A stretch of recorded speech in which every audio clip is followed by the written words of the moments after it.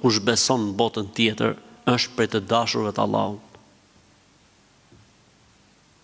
Një prej argumentave që Allahu të do fort, është të besosh se ka botë tjetër.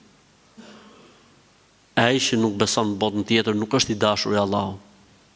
Ka thënë pejgamberi sallallahu alajhi wasallam, Allahu këtë botë ja jep atyre që i do dhe atyre që nuk i don. Ndërsa imanin dhe besimin në botën tjetër Allahu nuk ja jep vetëm sa atyre njerëzve që i don. Për këtë arsye, nëse ta ka dhënë Allahu këtë fat, këtë mirësi, këtë bekim, pra besimin në botën tjetër, ti duhet të ndjehesh shumë mirë. Je prej të dashurve të Allahut. Je, pasha Zotin, je prej të dashurve të Allahut. E nëse një njeri nuk e ka këtë gjë, nuk është prej të dashurve të Allahut. Sepse Zoti xhelle xhelalu e ka lidhur, si me thënë, dashurinë e tij me dy gjëra. Adhurimin e tij, një, dhe besimin se ka botë tjetër, dy.